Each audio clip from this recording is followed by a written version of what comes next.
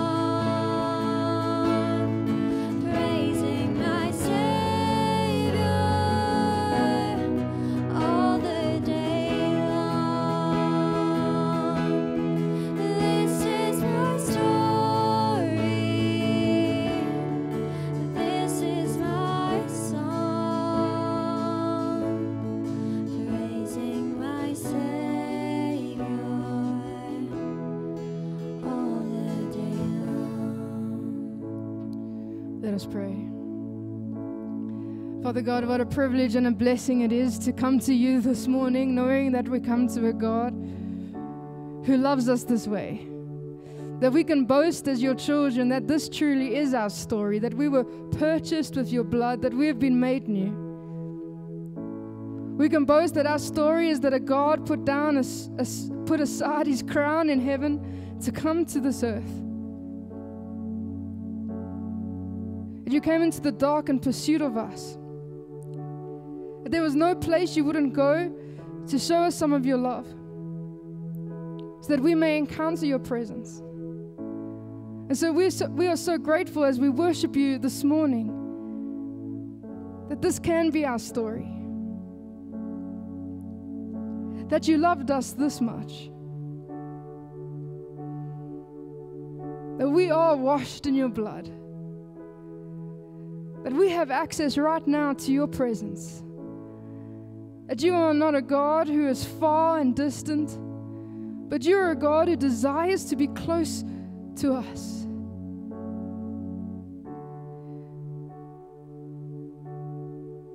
You are a God who has made himself accessible to us. You are a God whose Holy Spirit is with us right now as we worship. And so, Father God, we give you all the praise and all the glory this morning knowing that we have the privilege of being in your presence and of singing these songs and of holding on to hope. But you are a God who does not disappoint, and you are a God who is present.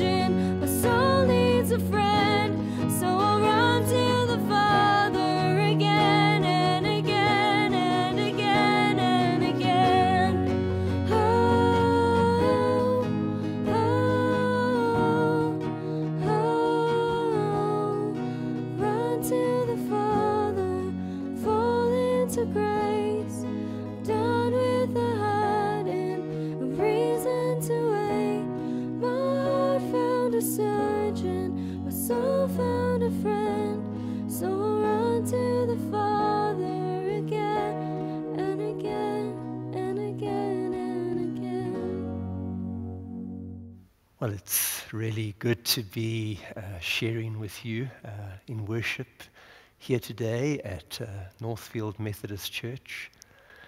And uh, we begin today a, a, new sermon series, and it's called uh, Places Jesus Walked.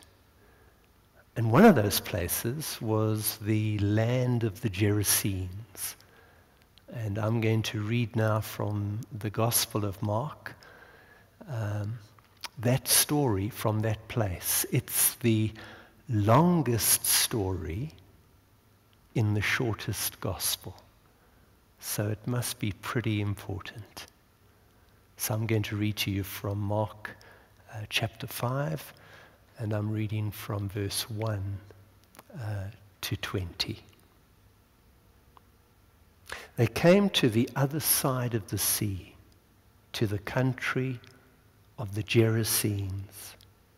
And when he had stepped out of the boat, immediately a man out of the tombs with an unclean spirit met him. He lived among the tombs, and no one could restrain him anymore, even with a chain. For he had often been restrained with shackles and chains, but the chains he wrenched apart, and the shackles he broke in pieces, and no one had the strength to subdue him. Night, night and day, among the tombs and on the mountains, he was always howling and bruising himself with stones. When he saw Jesus from a distance, he ran, he ran, bowed down before him, and shouted at the top of his voice, what have you to do with me, Jesus, Son of the Most High God? I adjure you by God, do not torment me. For he had said to him, Come out of the man, you unclean spirit. And then Jesus asked him,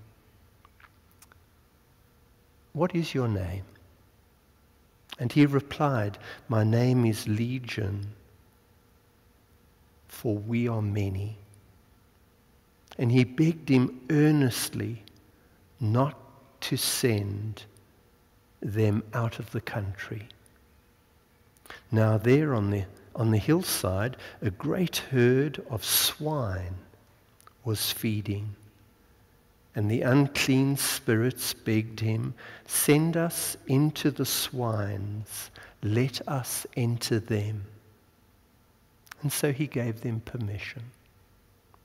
And the unclean spirits came out and entered the swine and the herd, numbering about 2,000, rushed down the steep bank into the sea and were drowned in the sea. The swineherds ran off and told it in the city and in the country. And then people came to see what had happened. And they came to Jesus and they saw the demoniac sitting there, clothed and in his right mind. The very man who had the legion and they were afraid.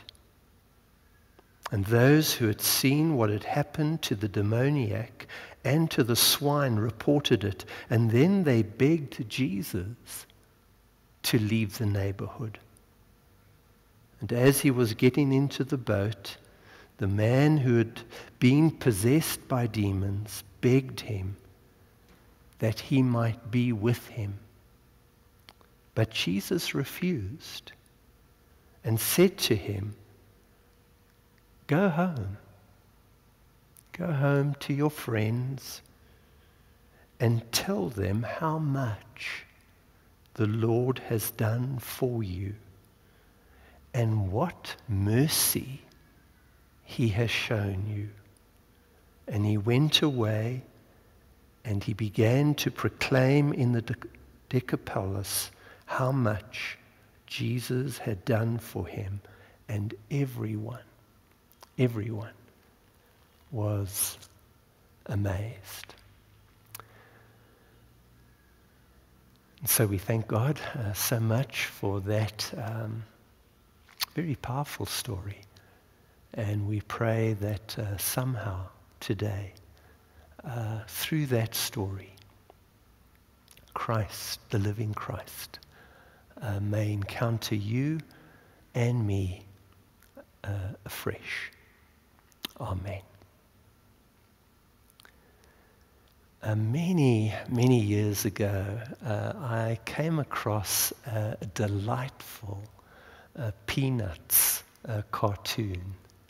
Uh, Peanuts was my favorite uh, comic strip, and you don't find too many Peanuts cartoons around today. And two of the chief characters, uh, Lucy and Linus, uh, were in uh, a very deep conversation with each other. And uh, Lucy was seeking to explain to Linus that in every human heart there is a very powerful inner struggle going on between good and evil. And Linus listened to Lucy, and then uh, Linus pressed uh, his hands against his chest and said to Lucy, Lucy, I think I know what you mean.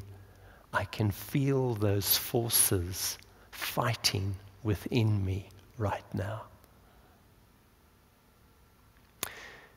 I begin with that, um, with that cartoon strip because I want to ask you today uh, wherever you may be, wherever you may be watching, listening,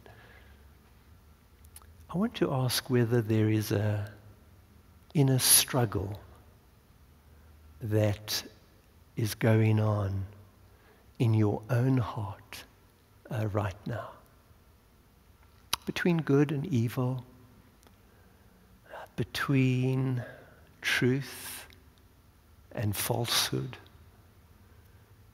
between uh, compassion and apathy,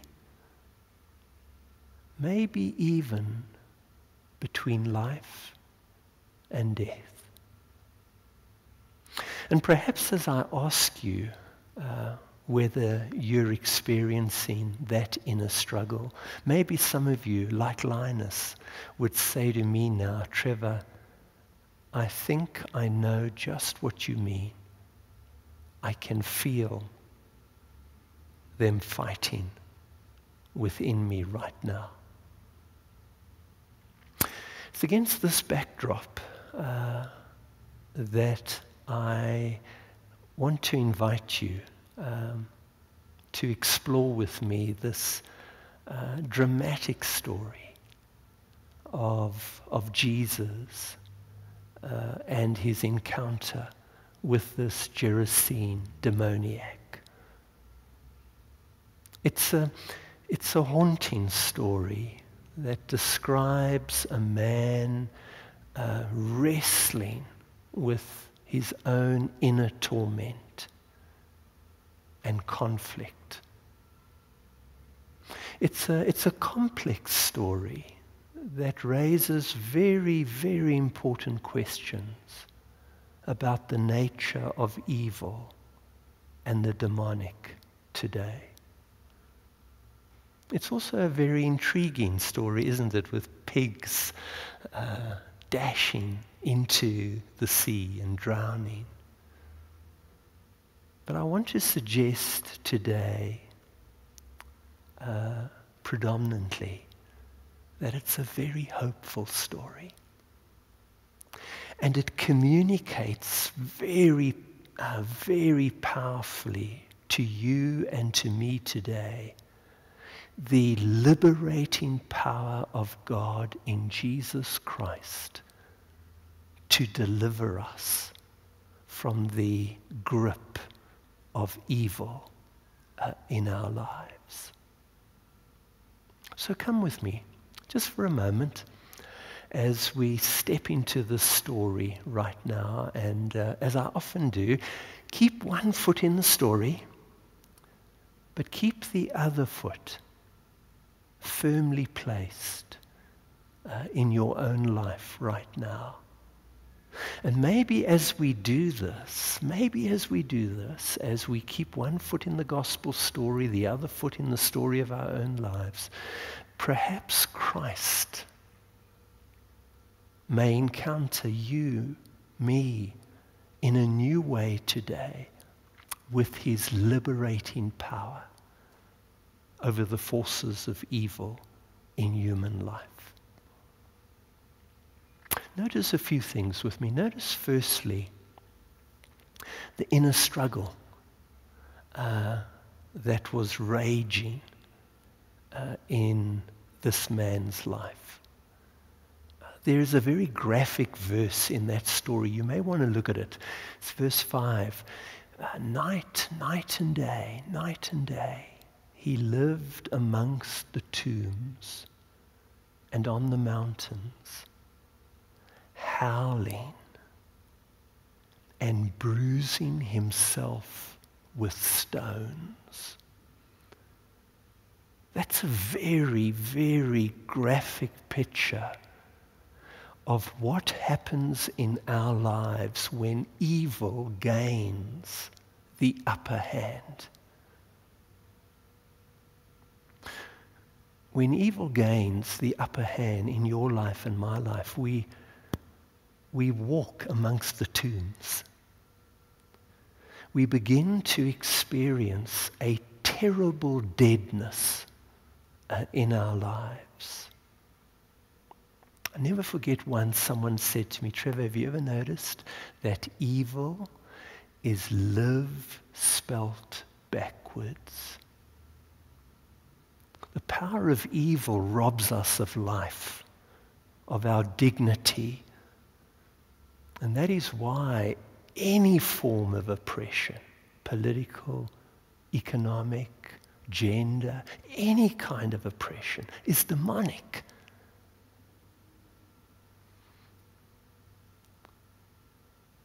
When evil gains uh, the upper hand in our lives, we kind of roam around on our own in the mountains. We are alienated. We get cut off from healthy relationships and healthy community. And we find ourselves, find ourselves living very uh, secretive, uh, isolated lives. When evil gains the upper hand in our lives, we bruise ourselves with stones. We get trapped in, in destructive ways of, of thinking and behaving that harm ourselves and harm those around about us. I wonder, I wonder, and I ask this question very seriously today. I wonder whether you, myself, can identify with this Gerasene demoniac today. Are you walking uh, among the tombs? The other day, someone said to me, Trevor, I just feel so, so dead inside. You find yourself cut off, alienated, living a secret existence. Do you find yourself bruising yourself with stones, caught up, caught up in destructive thinking and destructive behaviors, caught up in destructive addictions? caught up in, in ways of relating that are hurting people deeply around you.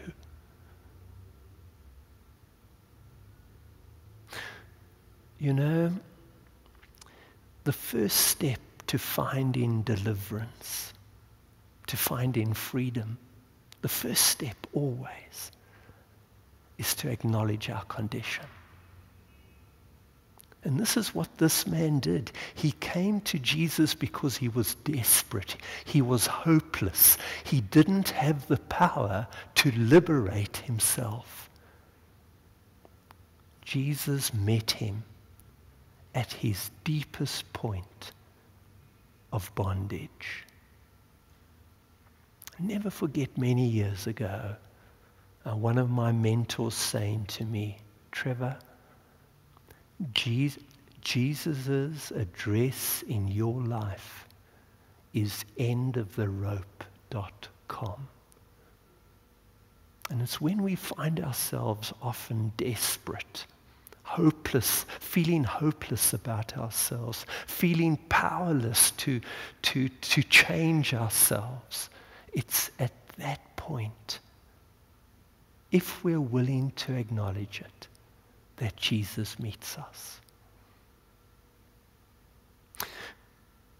Come back with me to the story. Notice, notice this encounter between Jesus and the demoniac. Uh, the demoniac comes to Jesus and, and, we, and we are told bows before him, throws himself on the ground in respect and admiration, maybe even in worship. We don't know. And at the same time, the demon in him crying out to Jesus, do not torment, do not torment us. I'm just so struck by how Jesus responds. He welcomes the man there is no condemnation of that man whatsoever. He receives the man, accepts him, and then asks him a beautiful question.